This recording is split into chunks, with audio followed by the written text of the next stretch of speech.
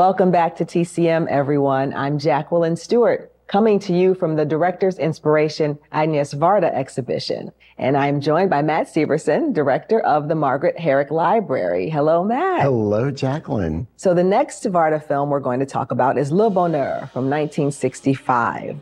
And this is a really complex film about an affair, we could say, but it's much more layered than that. Right. I think the way to look at it, if Cleo from Five to Seven is about death or the idea of death, this is the idea of happiness. What is happiness? And so a stylistic difference between the first film and this is that this is in color, beautiful color.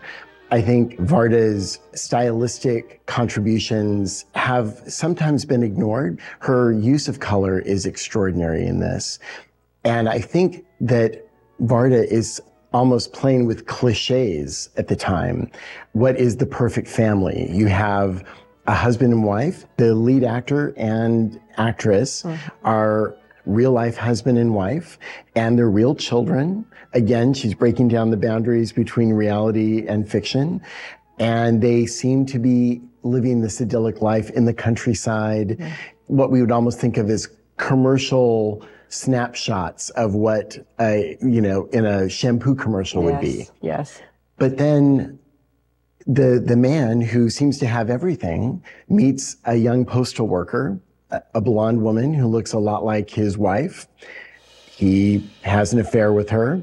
He falls in love with her. He doesn't also see anything wrong with that. And as Varda says, he's adding happiness on happiness. And I won't give spoilers away, but things happen.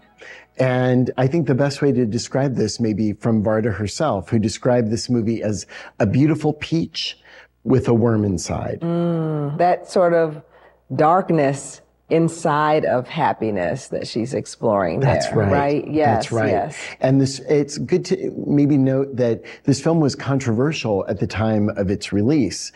There were a lot of people that were offended that Varda was not making more of a social commentary about what was going on.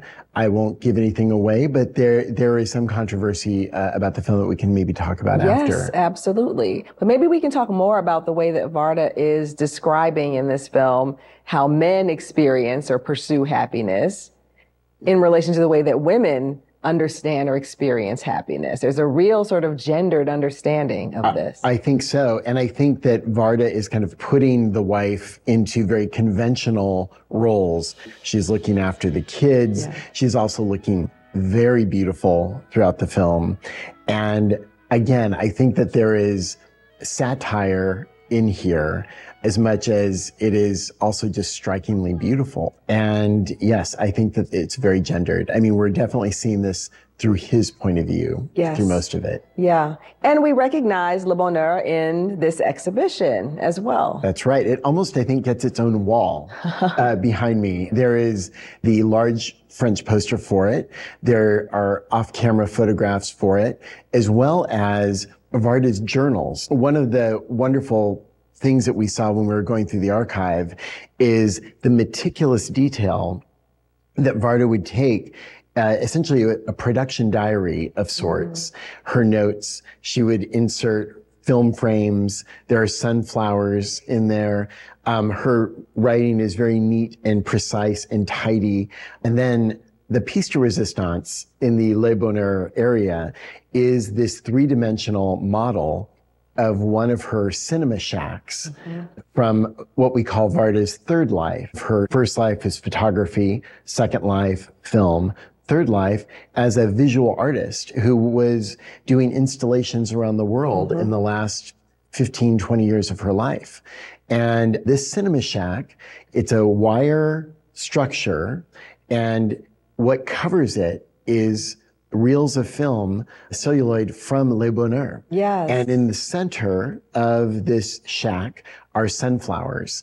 And as you will see in Le Bonheur, sunflowers are a major visual motif of the film. Absolutely. Thank you so much, Matt Severson. Thank you, Jacqueline. Let's take a look. From 1965, here is Agnès Varda's Le Bonheur. Back with me here at the Academy Museum of Motion Pictures to talk about Le Bonheur is the director of the Academy's Margaret Herrick Library, Matt Severson. So Matt, the end of this film is jarring. Yes. If the film seems unsettling, I think that that is Varda's point, mm. uh, essentially. And that her idea behind the film, one of her ideas, you know, what is happiness? And also, I think Varda had this idea that in a patriarchal society, especially at that time, um, she had this idea that for men, it was very easy for a man to have a wife, leave that wife, find another partner, and move forward, and that women could be discarded. And I think she is telling having that idea, showing that idea in a very unique way.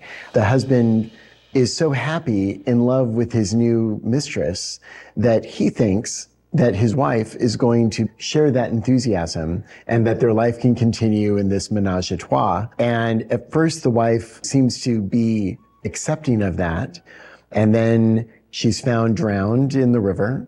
But it is never really resolved in the narrative if she went for a swim or if she purposely drowned herself. And the film doesn't seem that concerned with that. After, you know, some bits with the family and the funeral of the wife, he picks up again with the postal worker mm-hmm. and she kind of assumes the role of the new wife. That's right, and mother. Oublie encore les enfants, je voudrais que tu les aimes. Je les connais de vue, ils sont jolis. Tu n'avais pas envie de te marier, peut-être Mais ça ne fait rien. C'est toi mon bonheur, toi et ta vie.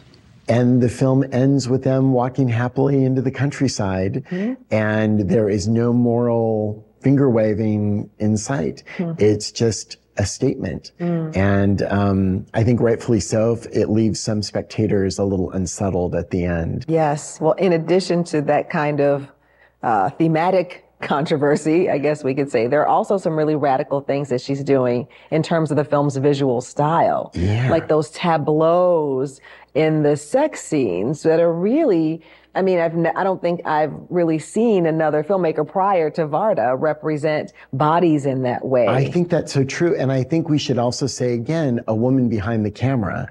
It's I think that her approach to these sex scenes is extremely stylized. They seem almost like they're still lifes, though you can, in every shot, there's like a finger moving. She's really holding them still. And I would say that there are antecedents to other filmmakers that came later. Mm. I can think of in Gus Van Sant's My Own Private Idaho. Ah. He does something very similar with his sex scenes as well. Um, and I would also say, again, her formal use of color is quite unique. Mm-hmm. Um, when you look at the 1950s and 60s, a lot of the great auteurs are coming to color for the first time. And Varda kind of takes to it like a real master because mm. she's I mean, there are, it's a riot of colors on screen. And then in the transitions from one scene to the other, she will kind of instead of fading out or fading to black or fading to white, she's fading into fuchsia, mm-hmm. she's fading into blue. And then the center of the film, she does a triptych of sorts where she fades into the colors of the French flag, blue, white, and red in sequence. Part of it is playful and part of it, I think, speaks to the film's themes of beauty and subjectivity and what is happiness, what is beauty. Yes. Thanks so much, Matt. Please stay here because coming up next, we have a short documentary that Varda made about the Black Panther Party.